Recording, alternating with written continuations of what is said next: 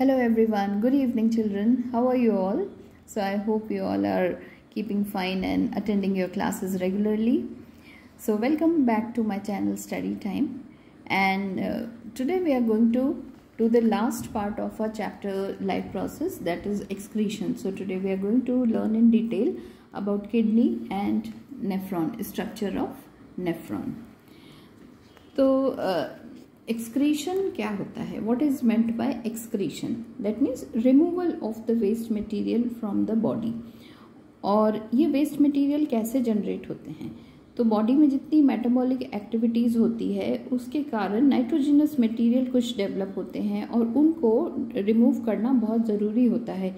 क्योंकि अगर वो एक्यूमलेट होने लगते हैं हमारे ब्लड में तो फिर वो वो टॉक्सिक हो जाते हैं बॉडी के लिए और फिर हार्मफुल उसका जो इफ़ेक्ट होता है वो हार्मफुल होता है। तो इसलिए हमारी ह्यूमन बॉडी में भी इस तरह एक एक्सक्रीशन के लिए एक बहुत ही अच्छा एक्सक्रीटरी सिस्टम है right now what about the other organisms? So different organisms has uh, use varied strategies to remove the, these waste material from their body. तो जैसे यूनिसेल्यूलर ऑर्गेनिजम्स जो होते हैं, वो सिंपल डिफ्यूजन के प्रोसेस से अपनी बॉडी सरफेस के थ्रू ही जो वेस्ट मटेरियल होता है, उनको अपने सराउंडिंग मीडियम में रिलीज़ कर देते हैं। फॉर एग्ज़ाम्पल जैसे कि ये है एक अमीबा राइट right? तो अमीबा के बारे में तो हम सब जानते ही हैं। अमीबा एक यूनिसेल्यूलर ऑर्गेनिज्म है और वो वाटर बेस्ड है। पानी में रहता है तो वो पानी उसका जो बॉडी का सरफेस है, वो डायरेक्टली पानी के कांटेक्ट में ही रहता है। तो अब जैसे हमने पढ़ा था कि अमीबा में भी होलोजोइक मोड ऑफ़ न्यूट्रिशन होता है if you remember nutrition topic में हमने पढ़ा था। तो ये अमीबा है, ये इसके आर्म्स जो लिखे हैं, ये एक्चुअली सूडोपोडिया होता है। ये इसकी जो ये मेम्ब्रेन है, जैसे सेल मेम्ब्रेन से कवर्ड होता है ये। तो वही आगे की तरफ़, जैसे ये एक फ़ूड पार्टिकल है तो उसके चारों तरफ़ ये अपने आप को बढ़ा लेता है और यहाँ से बंद कर लेगा और एक फ़ूड वैक्यूल बना लेगा और फ़ूड को अपने अंदर ले लेगा। तो इसको होलोजिक मोड ऑफ़ न्यूट्रिशन कहते हैं। फ़ूड वैक्यूल के अंदर कुछ डाइजेस्टिव केमिकल्स रिलीज़ होते हैं और फिर वो इस फ़ूड को डाइजेस्ट कर देंगे। अब क्या होता है कि जो डाइजेस्टिव जैसे ये डाइजेस्टिव डाइजेस्टिव जूसेस या केमिकल्स जो रिलीज़ होते हैं फ़ूड वैक्यूल के अंदर वो फ़ूड को अटैक करते हैं उसका ब्रेक डाउन कर देते हैं और उससे न्यूट्रिएंट्स रिलीज़ हो जाते हैं और जो बाकी जो वेस्ट होता है न्यूट्रिएंट्स जो होते हैं वो एब्जॉर्ब हो जाते हैं इसमें साइटोप्लाज्म में और जो वेस्ट होता है वो इसी में ही रह जाता है। फिर उस वो जो होता है वो ऐसे जो अमीबा है उसके सरफेस की तर, इस तरफ़ आ जाता है और वो एक एंड पे आके उसको वो जो वैक्यूल है वो खुल जाएगा और जो ये नाइट्रोजनस ये जो वेस्ट है ये बाहर मीडियम में रिलीज़ हो जाएँगे राइट तो waste are the products which are expelled तो ये एक डिफ्यूजन का प्रोसेस होता है और बॉडी सरफेस से ही जो नाइट्रोजनस वेस्ट होते हैं वो बाहर रिलीज़ हो जाते हैं राइट right, तो ये है यूनिसेल्यूलर ऑर्गेनिज्म में इस तरह से जो डिफ्यूजन के प्रोसेस से रिलीज़ होते हैं वेस्ट मटेरियल बाहर। लेकिन हमारी बॉडी में ह्यूमन बींग्स में एक वेल डेवलप्ड एक्सक्रीटरी सिस्टम होता है, जिसको कि हम, और वो एक्सक्रीटरी सिस्टम का जो मेन पार्ट है, वो है किडनी तो इस तरह से दो किडनीज होती हैं। दो किडनीज होती है और जो बैकबोन है, उसी के दोनों तरफ़ ही ऐसे प्लेस्ड होती है। और दोनों किडनीज में जो आर्टरी भी ब्लड सप्लाई जो करती है आर्टरी वो है रीनल आर्टरी तो जैसे ये है लेफ़्ट लेफ़्ट किडनी में लेफ़्ट रीनल आर्टरी इसी तरह से राइट किडनी में राइट रीनल आर्टरी और फिर लेफ़्ट रीनल वेन तो ये रीनल वर्ड यूज़ किया जाता है। किडनी के लिए जो आर्टरी और वेन जाती है, उसके लिए रीनल वर्ड यूज़ करते हैं। एओटा तो मेन आर्टरी है जो कि ऑक्सीजनेटेड ब्लड लेके आती है। और इसी तरह दोनों किडनी के साथ में दो लॉन्ग ट्यूब लाइक स्ट्रक्चर्स निकलते हैं, जिसको कि यूरेटर बोलते हैं। तो और फिर ये दोनों यूरेटर जाके एक stretchy muscular bag like structure होता है, जिसको कि यूरिनरी ब्लैडर बोलते हैं। और उसमें, और यूरिनरी ब्लैडर बाहर बॉडी के बाहर एक यूरिथ्रा एक ट्यूब लाइक स्ट्रक्चर होता है, जिसको बोलते हैं यूरिथ्रा उससे वो बाहर खुलता है। तो किडनी का फ़ंक्शन क्या है? किडनी का फ़ंक्शन है removal of the waste product but how कैसे? तो हमें पता है कि जैसे डाइजेशन हम खाना खाते हैं और डाइजेशन के बाद में जो डाइजेशन के बाद में जो न्यूट्रिएंट्स रिलीज़ होते हैं, वो सब ब्लड में एब्जॉर्ब होते हैं। ब्लड का फ़ंक्शन क्या है? Transportation transportation of oxygen carbon dioxide nutrients and also blood also carries the nitrogenous waste products which are formed as a result of uh, digestion of the food material. तो nitrogenous waste products जो होते हैं वो भी blood के through ही आते हैं। तो नाइट्रोजनस वेस्ट जो होता है वो ब्लड के थ्रू इस रीनल आर्टरी के थ्रू किडनी में लेके लाए जाते हैं। तो किडनी में क्या होता है? अब किडनी का स्ट्रक्चर हमें समझना होगा। ना व्हाट इज़ किडनी में दो लेयर्स होती हैं आउटर लेयर और inner layer right so let's see है किडनी जो होता है उसमें दो लेयर होती है। ये है रीनल कॉर्टेक्स और अंदर वाली लेयर होती है रीनल मेड्यूला राइट और इसको बोलते हैं रीनल पेल्विस अब यहाँ पे क्या होता है? रीनल कॉर्टेक्स जो है, यहाँ पे ये ये जो dot dot dot like structures हैं, ये एक्चुअली नेफ्रॉन्स का जो बोमेंस कैप्सूल वाला पार्ट होता है, वो है right see so this is ये एक तरह का एक कप जैसा स्ट्रक्चर होता है ये। इसको बोलते हैं ग्लोमेरुलर या बोमेंस कैप्सूल नेफ्रॉन इसकी यूनिट होती है।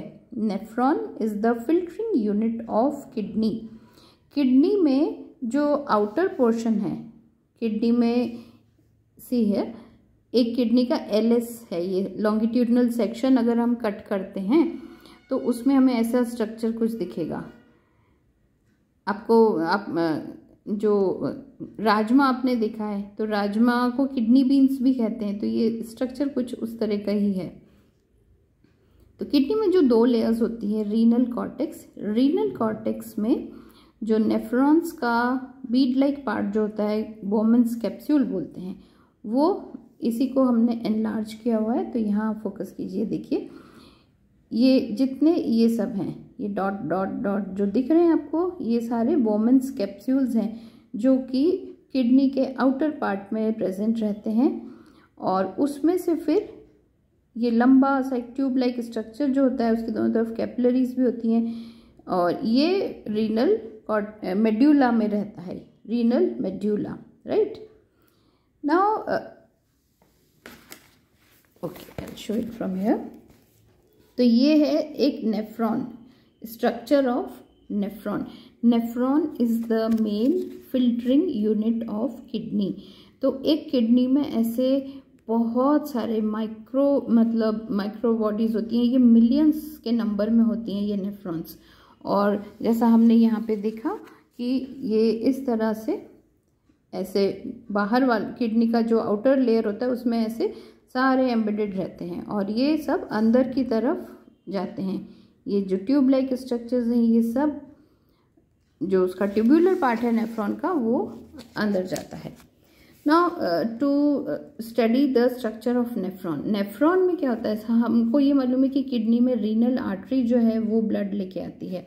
रीनल आर्टरी यहाँ पे अंदर ब्रांच आउट होती है और ये जो वोमेंस कैप्सूल है, इसके अंदर बहुत सारी कैपलरीज होती हैं, जिसको नेटवर्क ऑफ़ कैपलरीज जो ये renal artery it will end up into network of capillaries और जिसको बोलते हैं ग्लोमेरुलस इसको ग्लोमेरुलस बोलते हैं।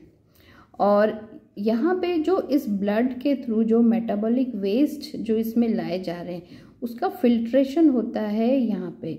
और फिल्ट्रेट जो होता है फिल्ट्रेट यानी कि फिल्ट्रेशन के बाद में जो जो लिक्विड पार्ट जो निकलेगा वो उसका क्या होगा? तो वो फिल्ट्रेट जो होता है वो सारा बोमेंस कैप्स्यूल में इकट्ठा होता जाता है। और वो जो लिक्विड होता है वही वो, वो फिर आगे की तरफ़ बढ़ता है।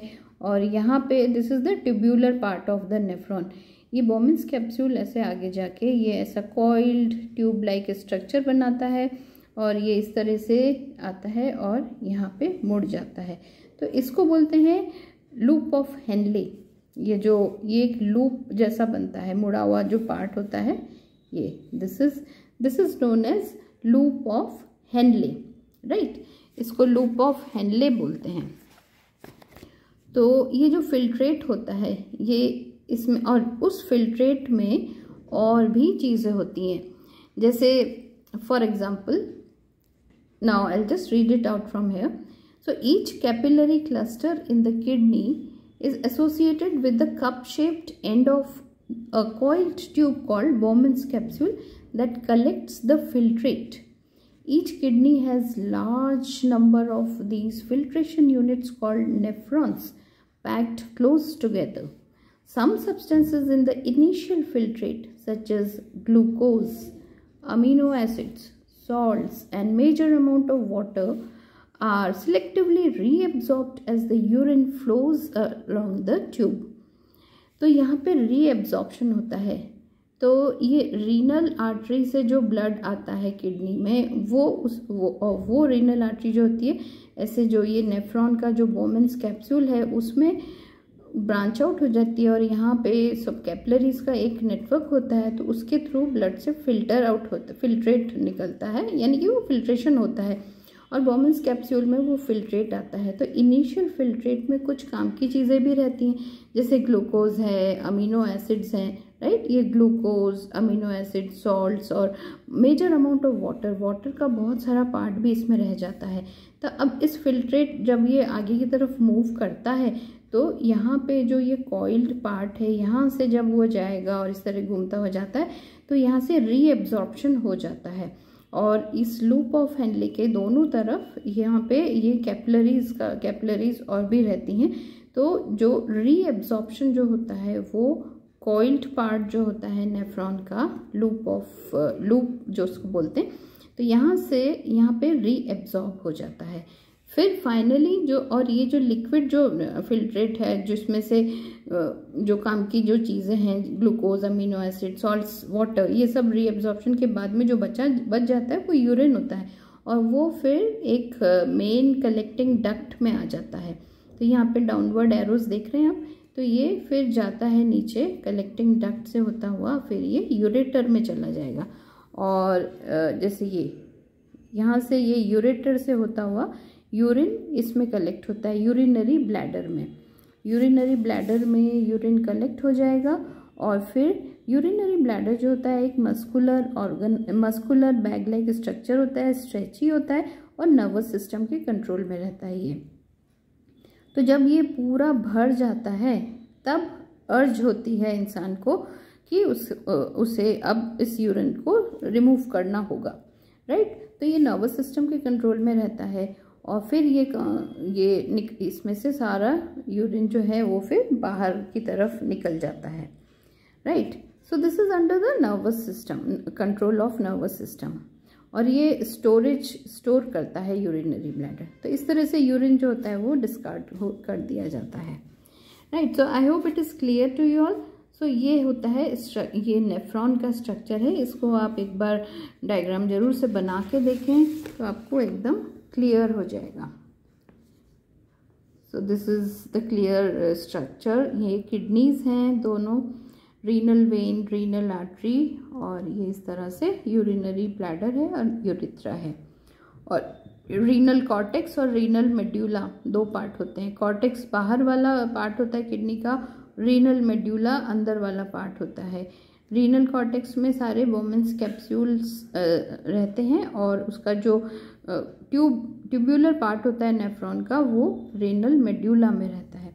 तो ऐसे मिलियंस ऑफ़ हैं, बहुत सारी बॉडीज़ होती हैं फिल्ट्रेशन बॉडीज़ होती हैं, और इसको बोलते हैं loop of Henle nephron loop या loop of Henle right so आपको इसमें एक चीज़ याद रखनी है कि ग्लोमेरुलर ब्रोमेंस कैप्सूल है और ये जो ग्लोमेरुलस है, यहाँ पे फिल्ट्रेशन होता है फिल्ट्रेट इस बोमेंस कैप्सूल में कलेक्ट होके नीचे की तरफ़ जाता है।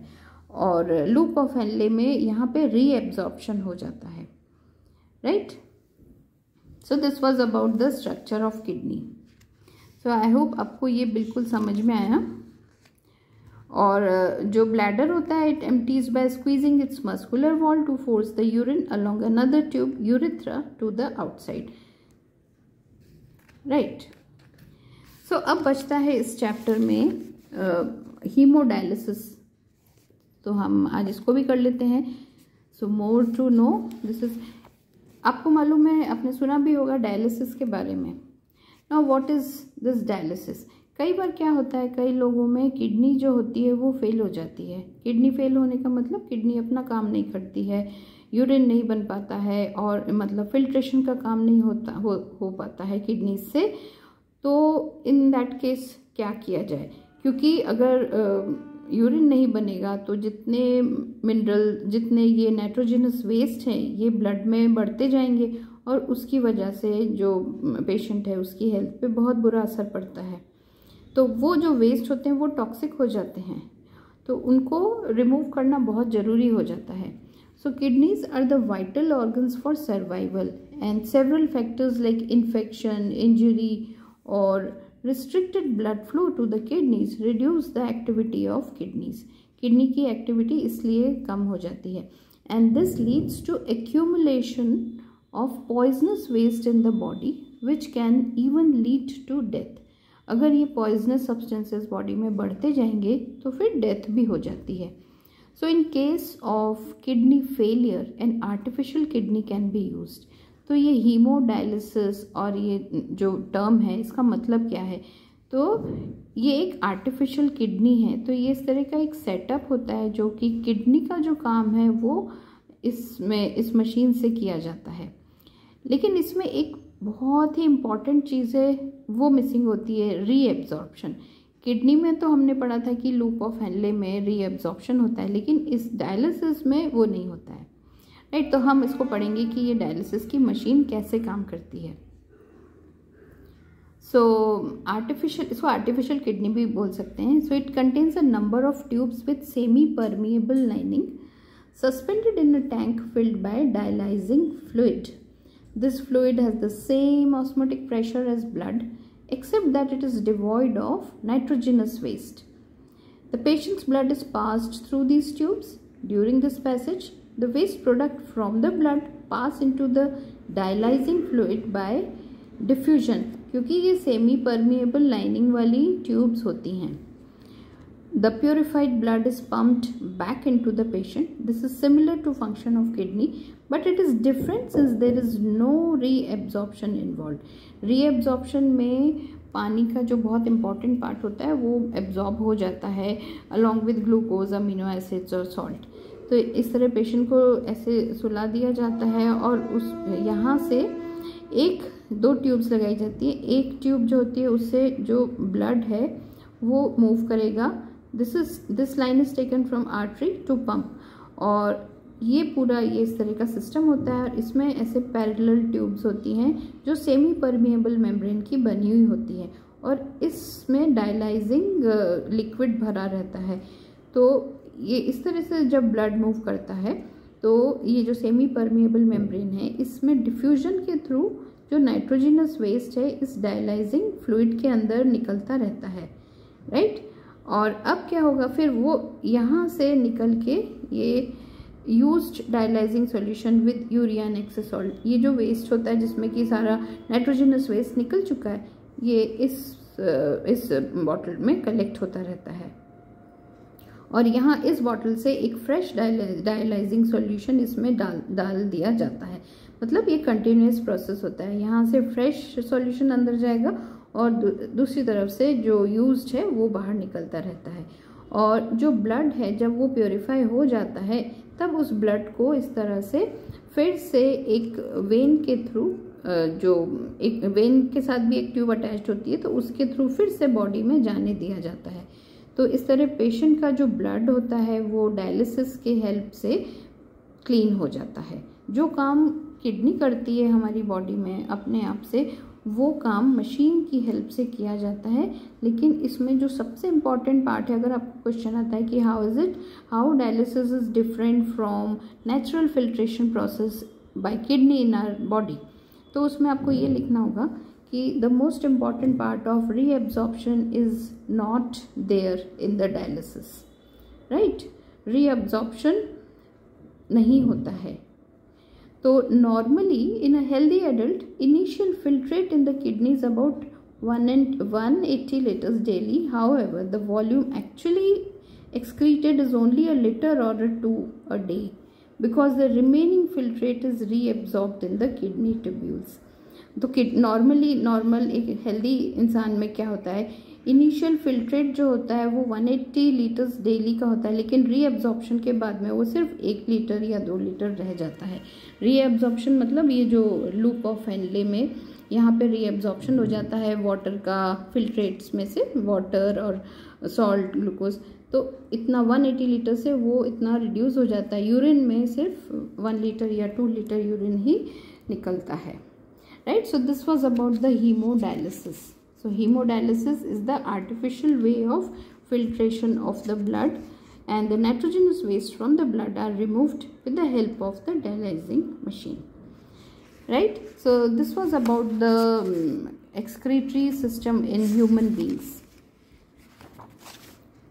okay so कल हम पढ़ेंगे ऑर्गन डोनेशन के बारे में और excretion in the plants With this will be finishing this topic also as well as our this chapter और ये तीन क्वेश्चंस हैं, इनको हम कल के सेशन में डिस्कस करेंगे.